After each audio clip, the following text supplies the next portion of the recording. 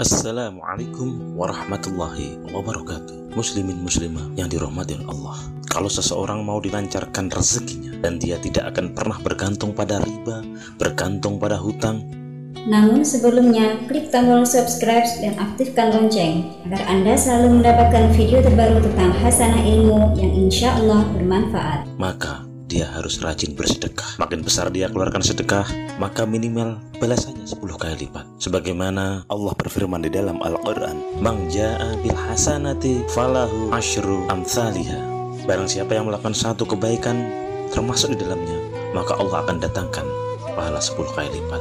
Pada saat itu, sudah ada jaminan dari Allah kita akan mendapatkan cara investasi dengan sang pencipta Allah Subhanahu wa taala 10 kali lipat 50 ribu 500 ribu 5 juta 50 juta. Ini mungkin. Allah nggak mungkin salah. Allah nggak akan lupa janjinya. Dan siapa yang lebih jujur daripada Allah dalam perkataan? Orang yang rajin sedekah mustahil miskin. Kita selama ini tidak pernah sadar. Makanya kalau lewat orang miskin lewat pengemis Jangan selalu seribu, dua ribu, seribu, dua ribu. Karena keraguan kita dalam pikiran kita selama ini seperti konsep para kapitalisme. Kalau kita mengeluarkan berarti berkurang. Ini harus dihapus. Yang benar secara syar'i, kalau kita berikan sesuatu ke orang miskin akan datang investasi bersama Allah itu 10 kali lipat minimal rajin bersedekah Allah akan mengayakan seseorang dan akan melepaskan dari hutang dan riba ini janji Allah coba praktekkan mulai sekarang Coba jangan sampai ada satu hari lewat tanpa bersedekah dan sedekah makin memuncak. Pahalanya makin memuncak balasan dari Sang Pencipta Allah Subhanahu wa taala. Kalau kita mau mencari orang yang susah dan kita beri sedekah, itu jalur cepat.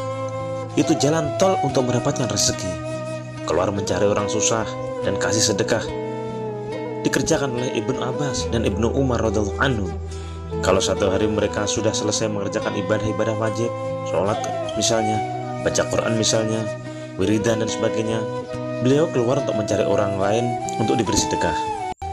Jelas janji Allah akan mendatangkan balasan dan sumber utama. Tidak diterimanya doa itu adalah makanan dan minuman yang haram. Perbaikilah makananmu, sumbernya, jenisnya, perbaiki makanan dan minumanmu.